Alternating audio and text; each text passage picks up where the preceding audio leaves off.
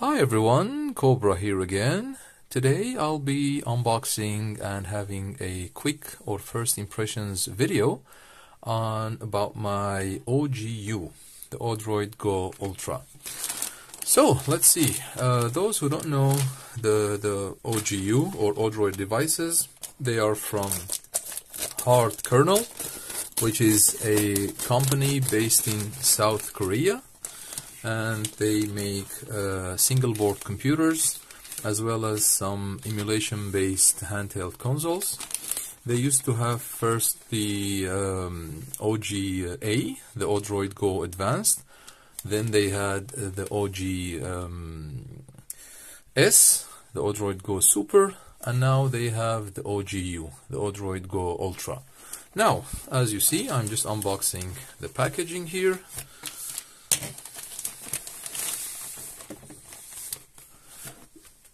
This is this is the the box actually. Let's see, it comes with the invoice and I'm trying to keep the videos short, probably under 8 minutes. Uh, this is just a quick unboxing video. Probably in the future I'll make another video uh, about the, the gameplay, the system that the OGU can emulate. So, just basic packaging as you see from Odroid, Hardkernel,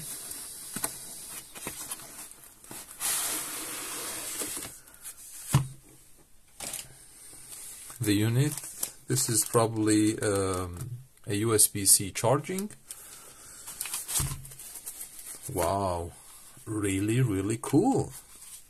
This actually uh, comes with two um, color options. It comes with the uh, dim gray and the clear white.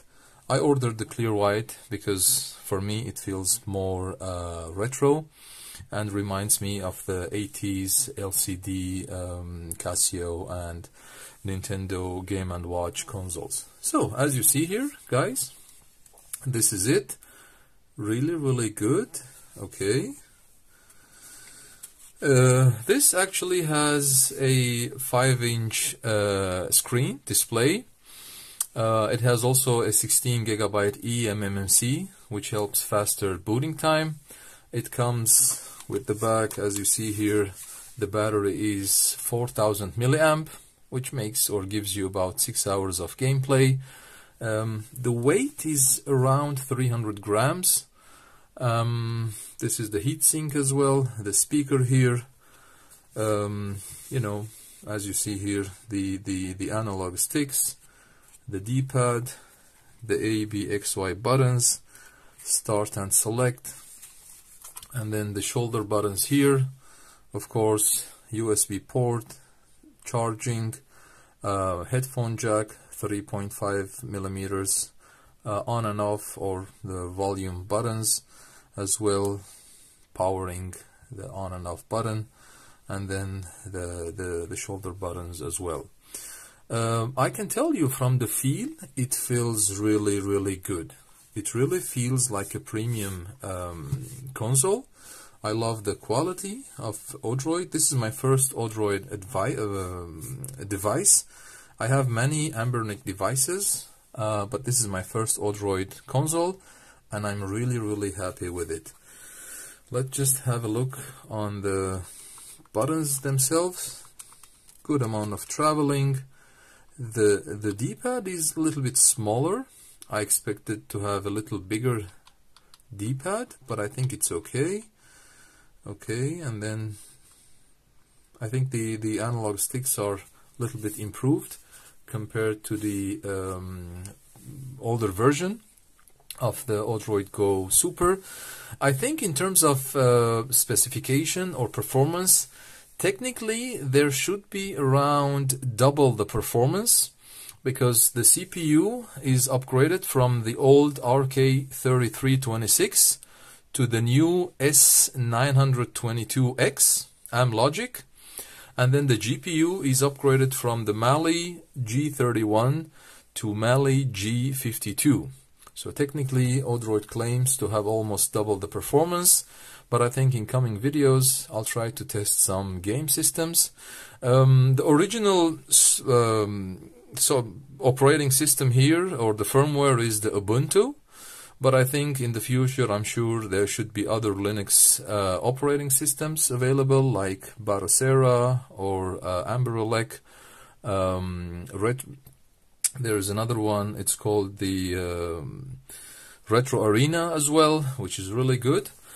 But anyway I think um, today let me just give it a quick start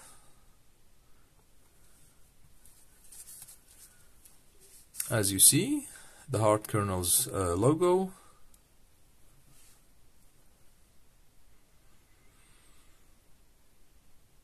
I kind of uh, recommend this device if you are in the market or if you are starting your new um, this is just a stock firmware the configuration. Okay. I recommend this device if you are starting uh, new or fresh uh, or as a beginner in the retro gaming emulation. Um, the price of this unit is $111 before shipping. I think it's a really good price given the performance price ratio. Um, as a beginner, I recommend this to start with um, in the emulation world because Linux based handhelds are slightly easier to deal with than Android. Um, you basically need to uh, upload your BIOS and ROM files and then you're ready to go. Well, I think, as I said, I'll write the information in the in the uh, video description. I'm really in love with this device. That's really, really cool. Great job, Hardkernel.